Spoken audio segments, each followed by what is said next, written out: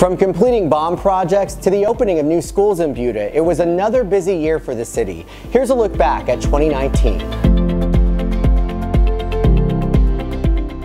Old Goforth wrapped up construction and reopened in early November. The improvements included the widening of existing pavement for dedicated turn lanes, reconfiguration of sidewalks, and other upgrades. The Oxbow Drainage Improvement Project also wrapped this year. Channel improvements and culvert upgrades were made along the main channel. Construction is done on the Houston Street Drainage Improvement Project. It included the construction of an open channel along Lily Street and a construction culvert along Rose Street. Work on the wastewater treatment plant expansion is underway.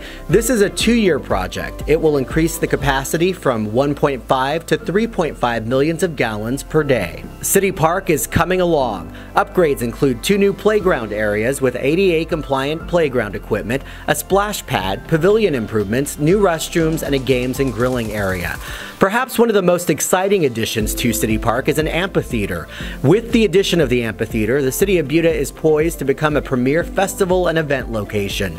Construction is expected to be finished in the spring of 2020. The Main Street and 967 improvement project is ongoing. Work started a few months ago. The first phase of the project focuses on the east side of Main. After the holidays, work will shift to the west side of Main. Improvements include widening the sidewalk, creating turning lanes, addressing traffic flow, and other upgrades. The project is expected to be finished in the spring of 2020. Meanwhile, work on Main Street between Cabela's and Railroad is also ongoing. The improvements include signal modification at Bradfield Drive and Main Street to accommodate additional lanes, the extension of the sidewalk along Main Street, and improved accessibility to Bradfield Park.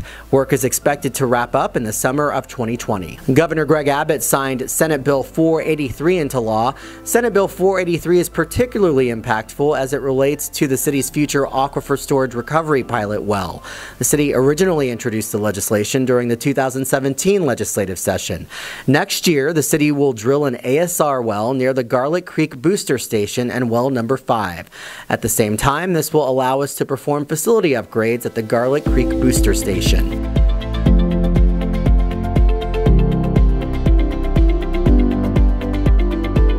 The city installed a new water meter system. The new system enables customers to see their consumption data in real time as opposed to having to request consumption data from the city. This also gives citizens control over their consumption by enabling customers to set usage alerts and leak warnings. Trying to empty out your medicine cabinet but don't know where to take unwanted or unused medications? You can now dispose of excess and expired prescriptions, including over-the-counter medications, at a MedReturn drop box located in the lobby of the Buda Police Department. The City of Buda's water system recently received high marks from the Texas Commission on Environmental Quality. Through the hard work of the city's public works operations and engineering professionals, the city has been designated a superior public water system by the TCEQ. To earn this designation, a system must meet and maintain a higher set of standards that are required of all public water systems. Several changes were made to the animal control ordinance this year, including changing pet registration from a yearly requirement with tags to a lifetime registration with microchips. The City of Buda, Buda Economic Development Corporation, and Buda Area Chamber of Commerce took part in Buda Legislative Day at the Capitol. It was an opportunity for city leaders to meet with lawmakers to discuss upcoming legislation that would impact our community. Lauren Middleton Pratt joined the City of Buda as the new Assistant City Manager of Development Services. Middleton Pratt came to the city from Jones Lang LaSalle, where she served as a financial analyst. She served in both the public and private sector for 10 years prior to joining the City of Buda. The City of Buda's fiscal year 2017-2018 annual audit of the city's financial reports was completed by the city's external audit firm Whitley Penn LLP. Once again, the city received an unmodified or clean audit.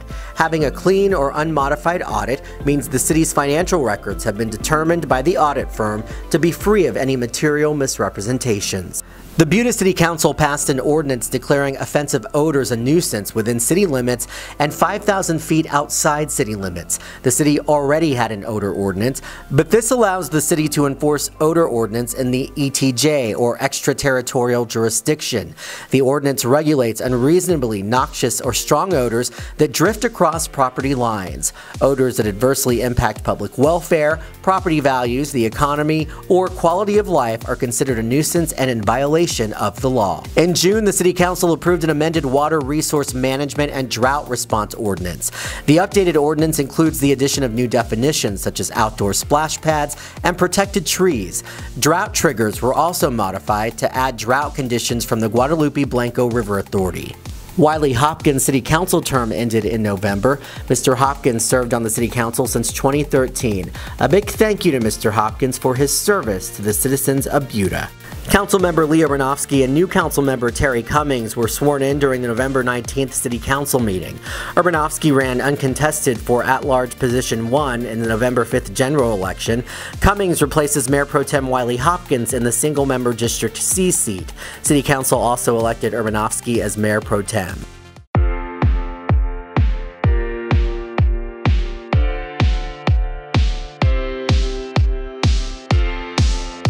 It was a busy year for the Buda Public Library.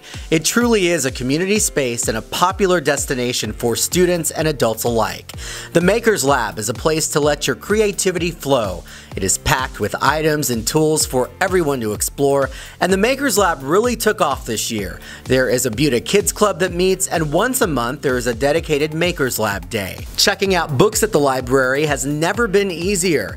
They acquired two new self-check stations for library guests to check out materials faster and easier. Also new this year, the library partnered with Community Action Incorporated to provide free high school equivalency classes. The library teamed up this summer with Hill Country Backyard Astronomers for an evening beneath the stars. Astronomy night events will continue in the future. Meanwhile, it was a busy summer of reading for the library's Summer Reading Club. We had 582 participants who logged 612,630 minutes of reading. The old library's furniture is history. We invited the public to come and scoop up what they wanted, and everything was taken. For more information on classes, events, or services, please visit budalibrary.org. The city held its first ever Don't Mess with Texas Trash Off. Volunteers came together to pick up trash and to help keep Buda beautiful. Buda celebrated its 138th birthday on April 1st. The city held a birthday celebration at Stagecoach House to mark the big occasion. Summer was a little cooler thanks to the opening of the Green Meadows Splash Pad at Green Meadows Park. The new splash pad opened to the public in April and had a grand opening in June. Univision held its first In Su Comunidad or In Your Community event in Buda this year. Univision's news anchors broadcasted live and several community organizations were on hand to provide information on the services they provide to the public. The new Johnson High School opened its doors this school year and had a grand opening over the summer, as did the new Buda Elementary School campus. Interested in Buda's transportation system? The City of Buda is developing a transportation and mobility master plan to identify transportation needs and solutions. The city recently put out a survey to get input from the public on transportation needs. There will be more opportunities to provide your input in 2020. As always, the city put on a number of events this year, including Red, White, and Buda, Buda Halloween, the Coco Jingle and Downtown Lighting Ceremony, and Trail of Lights. One of Main Street Buda's new events this year was Art in the Heart. And of course, the Buda Lions Club held their annual Wiener Dog races this year, which is always a popular event.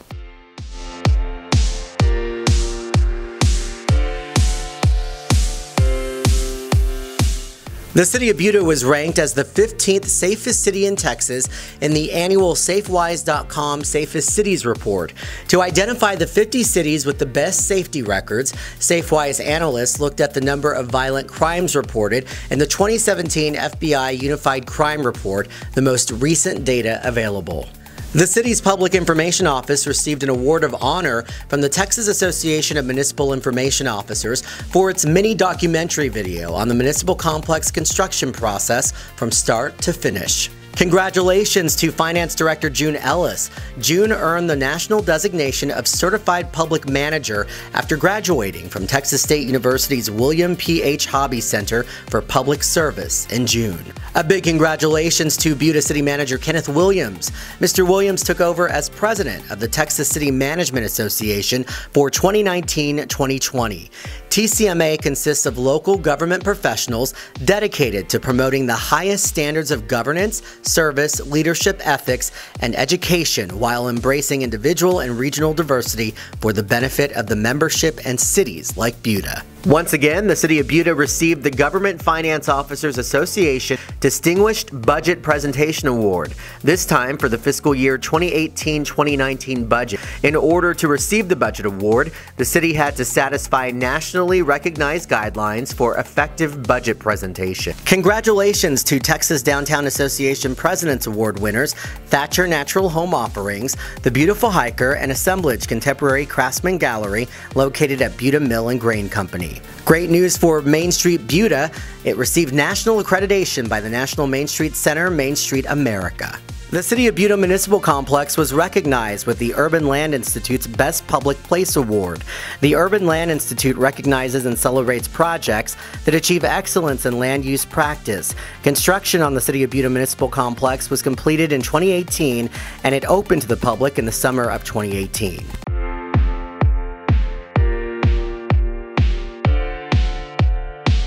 Baylor Scott and White opened their first full-service hospital in Hays County right here in Buda. As we mentioned earlier, Johnson High School opened its doors to students in Buda this school year, as did the new Buda Elementary School campus. On the east side of town, Sunfield Station, a 30,000 square foot multi-use sports complex, celebrated its grand opening this year. These are just a few of the highlights of the openings around Buda. There's no question, Buda continues to grow. The latest population estimate from the Texas Demographic Center for Buda city limits is 18,323. That's up from 16,915 at the middle of last year and 7,295 in 2010.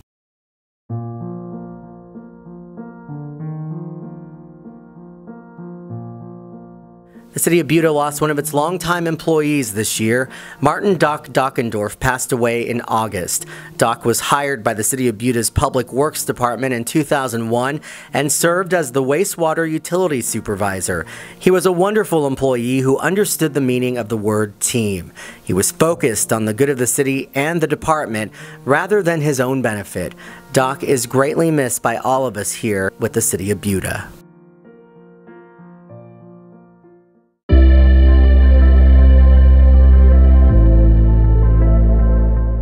Looking ahead to 2020, the Main Street construction projects and City Park Improvement Project are slated to be finished. Work will begin on Drainage Area 1, which is the fire station and Bluff Street diversion. The general scope of work for this project includes channel improvements and culvert upgrades along West Goforth and the Union Pacific Railroad track. Also in 2020, the city will be conducting a 2020 citizen survey, so be on the lookout for that. And as mentioned earlier, we will be putting together a transportation and mobility master plan. And BudaFest will return bigger and better in 2020. Also expect to see additional events as we capitalize on the amphitheater at City Park once it is complete. Here's to an awesome 2020.